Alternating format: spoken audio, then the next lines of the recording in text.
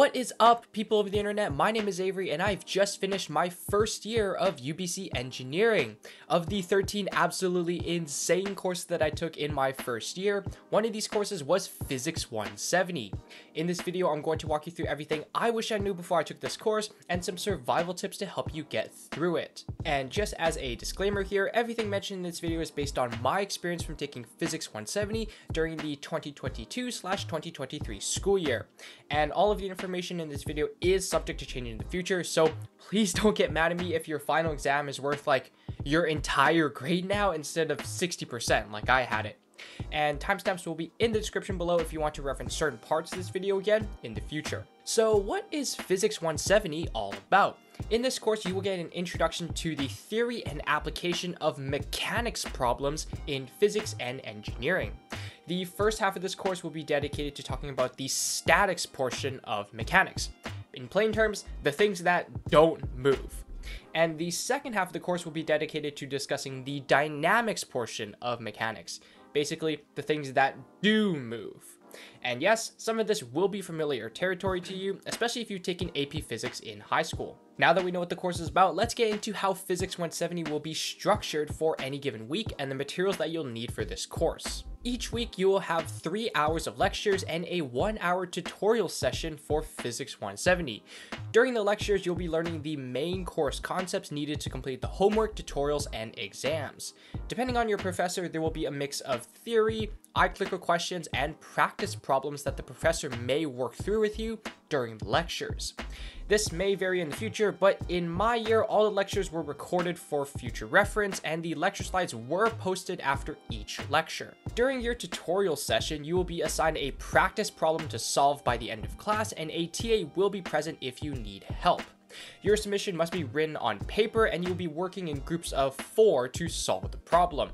To get full marks for your solution, it must contain a large, clear, and well-labeled diagram, and numerical answers must be expressed with three significant figures. I can't emphasize this enough, I lost one mark on one of my tutorial submissions because my diagram was ever so slightly too small. And I also lost a mark because I wrote my answers in four sig figs instead of three. Once your group has finished, you will hand in your submission to your TA for grading. In terms of homework for Physics 170, you will be completing weekly assignments using a site called Mastering Engineering. Depending on when you take Physics 170, either in the first or the second semester, and your professor, you could either have around 3 questions to complete, like I did, or up to 15. These homework problems are very similar to those covered in the lectures and the tutorials, and oftentimes they were just ripped straight from the textbook with some small number changes. In terms of the required materials needed for this course, I will say that Physics 170 does require you to buy the most out of all of the courses in first year UBC engineering, as if paying over $600 to take this course wasn't enough. The first thing that is required to have in this course is a calculator, specifically one that can solve a 6x6 system of linear equations. I will have a list of calculators that the Physics 170 instructional team recommends in the description below, but the most common calculator used in Physics 170 is the Texas Instruments TI-84 Plus calculator. I personally have the TI-84 Plus CE, which stands for Color Edition, and it is so worth the extra 10 to $15, and I got it for around $170. The next thing that you're going to need to buy for Physics 170 is an access code for Mastering Engineering on the UBC bookstore website. You can purchase it either with or without a digital copy of the textbook that is associated with this course, which we will get into in a second. Personally, I only needed the access code for this course, and it cost me around $82.25. $82.25 for homework that is worth 5% of my grade. And the last thing that is nice to have in Physics 170, but not a necessity, is the textbook that is associated with this course, which is the Engineering Mechanics, Statics, and Dynamics textbook by R.C. Hibbeler. The current edition is the 14th edition, but older versions are still relevant to this day. You don't need to have the textbook for this course, but I just found it really helpful because a lot of the homework questions are directly from the textbook and there are full solutions in the back of the book. Just don't tell anyone that I told you that. Also, there may or may not be a link to a free PDF download of the newest edition of this textbook in the description below. Alright, now let's get into what you're actually going to learn in Physics 170. As I mentioned in the beginning of the video, some of this may be high score review for you, especially if you took AP Physics. But the concepts are simple enough for the average engineering student to learn, even if you haven't taken AP Physics before. In the statics portion of Physics 170, this part will be all about the things that don't move. We're talking about concepts such as particle equilibrium, moments of a force and moments of a couple, moments about axes, rigid body equilibrium, and friction. You'll be working a lot with 3D coordinates and vectors in this part of the course, so you'll definitely need a good understanding of the beginning concepts. In the dynamics portion of Physics 170, you'll be learning about the things that do move, discussing concepts such as rectilinear and curvilinear motion, normal and tangential components, polar coordinates, dependent and relative motion, equations of motion, work and energy, and momentum and impulse. In plain terms, ultimately we want to be able to calculate the directions, forces, speeds, accelerations, and energies of things that move. And that's pretty much everything that you're going to learn in Physics 170. In terms of the grading scheme for Physics 170, here's the breakdown of everything that you'll be graded on and the weights associated with each item. Honestly, it's very straightforward. Mastering engineering homework is weighted at 5%, tutorial submissions are weighted at another 5%, your midterm exam is weighted at 30%, and your final exam is weighted at 60%.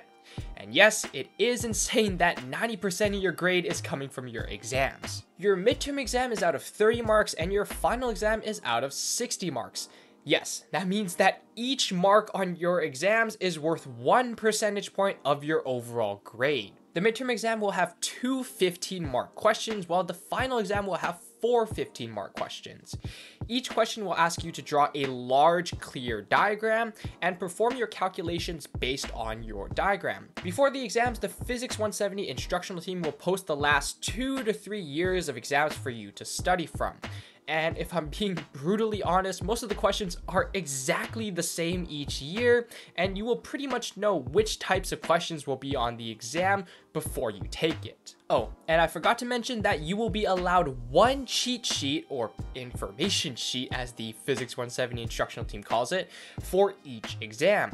You can use up to an 8.5 by 11 sheet of paper, double-sided for your cheat sheet, and it must be handwritten. You can't include any sample problems or problem solutions to sample problems on your cheat sheet, and you don't get to keep your cheat sheet after your exam has been written. And if any of you are curious, this is the cheat sheet that I made for my final exam. Alright, now on to some survival tips and advice for Physics 170, and I want to preface this section by saying that I was a pretty student in this course, so I know damn well what I should have done in order to get a better grade. My first and most important tip for surviving in Physics 170 is to do the additional practice problems alongside the assigned homework problems. And explaining this tip does require a little bit of story time. So in Physics 170, everyone kind of falls into one of two categories.